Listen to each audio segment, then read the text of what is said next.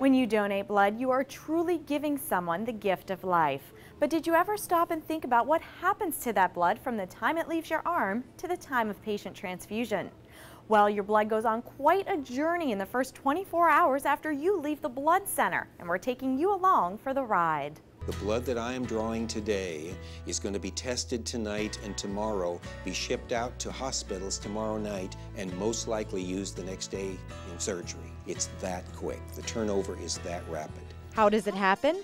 Well, as soon as the donation process is over, those test tube samples of your blood the phlebotomist drew are sent to a nucleic acid testing facility to be screened for a battery of diseases including HIV 1 and 2, West Nile virus, syphilis, hepatitis B, hepatitis C, T. cruzi or Chagas, as well as the human T cell lymphotropic virus 1 and 2. Looking at those types of diseases, usually viral, caused by a virus, that can be transmitted through blood transfusion. The blood is also tested for cholesterol levels and to determine blood group and Rh type. In other words, this is where your blood will be labeled as A, B, AB, or O, and whether it's positive or negative. This is crucial because a donor must be compatible with the patient in need. While all of that testing is taking place, your unit of blood is going through its own process.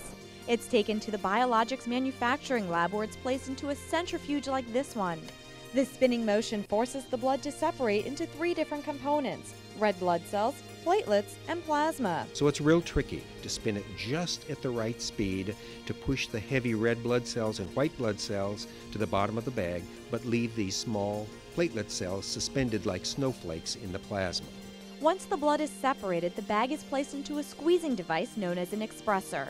And the end of the process, the red blood cells remaining in one bag, the plasma going to another bag, and the platelet cells ending up in a third bag, and thus we can basically take care of three different patients with that one blood donation.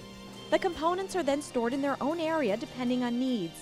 For instance, platelets must be kept at room temperature and must be used within five days. Plasma can be stored for up to a year. Red blood cells are housed in refrigerators and can be stored for 42 days. But as you can see, they usually don't last that long.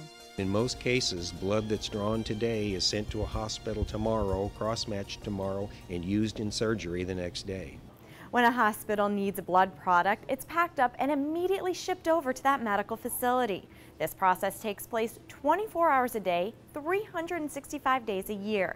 The need for blood never stops, and neither do we. There is no substitute for blood, it cannot be manufactured, and it must come from volunteer donors.